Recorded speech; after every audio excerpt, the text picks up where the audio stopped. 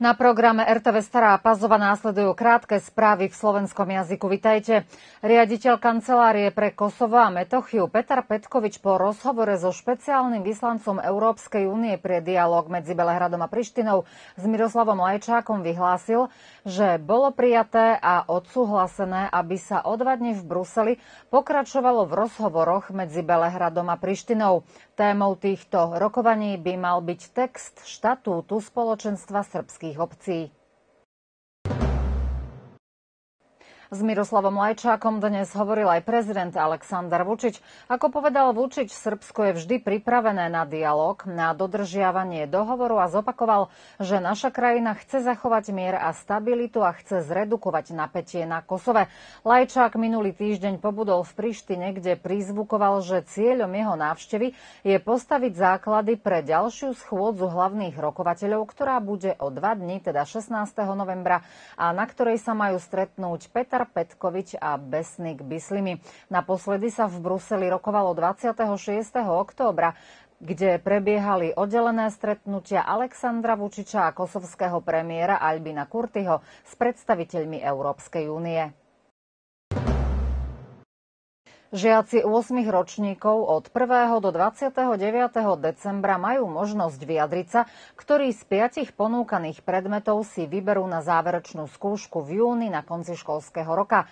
Z tohto vybraného predmetu budú robiť aj tzv. skúšobnú malú maturu, ktorá sa bude realizovať po školách koncom marca.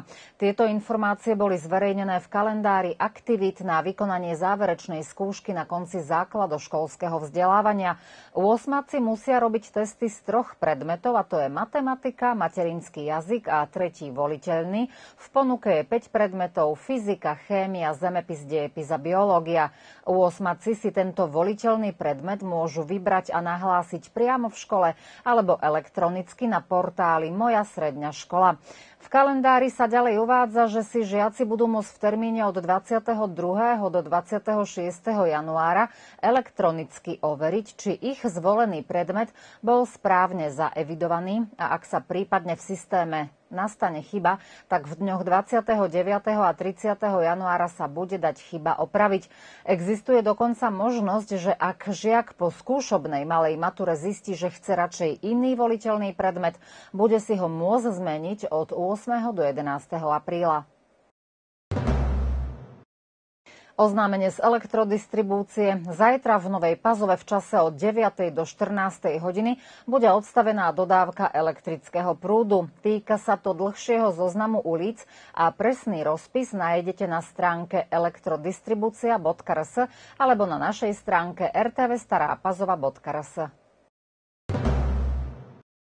Srbská pravoslávna církev oslavuje 14. november ako deň svätého Kozmu a Damiana, ktorí podľa legendy boli nebeskými lekármi a zdarma liečili chorých. Dom zdravia doktor Jovan Jovanovič Zmaj v Starej Pazove oslávil dnes tento deň ako svoju tzv. slávu, a to v prítomnosti zamestnancov, hostí a priateľov. Ako povedala riaditeľka Domu zdravia doktorka Svetlana Dudičová, do svojej práce každodenne vkladajú veľa lásky. Ide o humánnu profesiu, ktorá je náročná a vyžaduje nielen vedomosti a znalosti, ale aj empatiu a ľudský prístup. Nechýbal tradičný obrad krájania slávnostného koláča, ktorý odslúžil farár Zoran Erič z chrámu Presvetej Bohorodičky v Starej Pazove a vo svojom príhovore okrem gratulácie povedal, že zdravotníci sú stĺpmi spoločnosti, ktorí poskytujú pomoc každému bez rozdielu a to, čo získali ako dar, dávajú ďalej v rámci starostlivosti o pacientov. Ostaneme ešte pri téme zdravotníctva. Dnes si pripomíname Svetový deň diabetu. Pripomína sa od roku 1991 a je podporovaný Medzinárodnou diabetologickou federáciou, Svetovou zdravotníckou organizáciou a Organizáciou spojených národov. Tento deň bol vybratý preto, lebo v rovnaký deň v roku 1891 sa narodil kanadský fyziológ Frederick Grant Banting, ktorý spolu s Charlesom Bettom v roku 1921 vynašli inzulín. Cieľom tohto dňa je upriamiť pozornosť na cukrovku, ktorej výskyt sa stále zvyšuje, informovať o cukrovke, o diagnostike a liečbe. Od zajtra v Starej Pazove v divadelnej sále začína 5. ročník festivalu Pazovské dni divadelné. Dnešné prvé predstavenie z Alexinca bolo zrušené kvôli chorobe herca. Zajtra je na programe hra v prevedení hercov z Požarevca. Predstavenie sa volá Normalan a Lud a začína o 20. hodine vstup je voľný. Festival potrvá do soboty 18. novembra a o programe vás vždy vopred budeme informovať.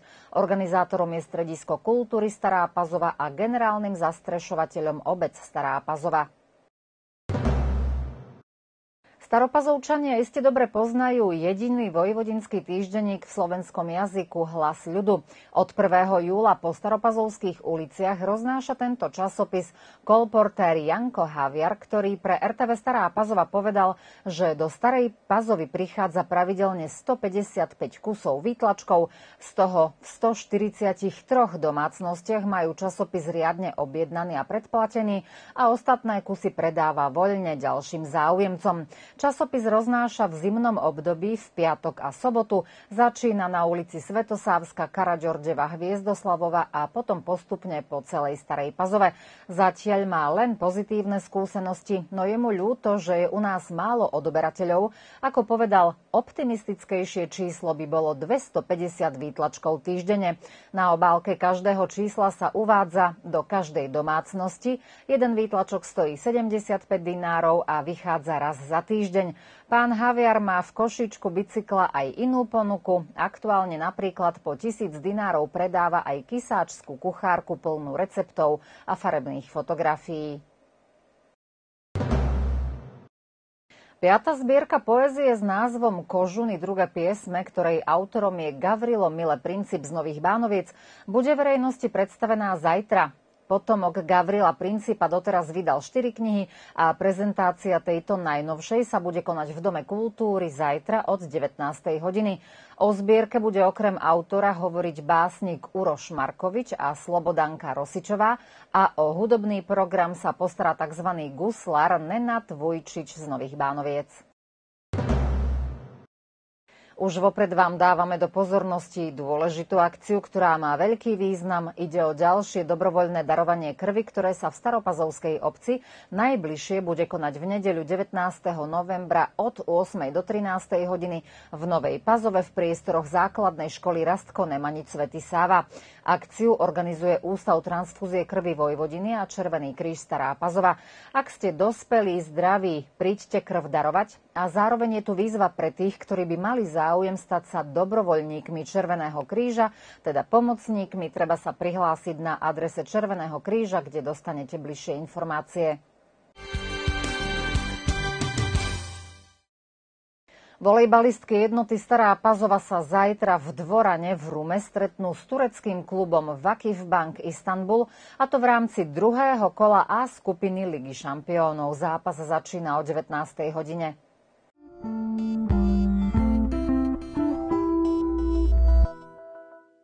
Stredu ráno by malo silno pršať. Okolo obeda zrážky ustanú a do konca dňa už len oblačno s občasným slabým dažďom. Teploty nebudú veľmi nízke, pohybovať sa budú od 6 po 14 a mierny vietor pocítime zo západu. A ako bodka za správami zo pár aktuálnych mien, vo Vojvodine má dnes meniny Mláden, zajtra dámy s menami Irma alebo Klementína. Útorkové správy končia príjemný deň ešte.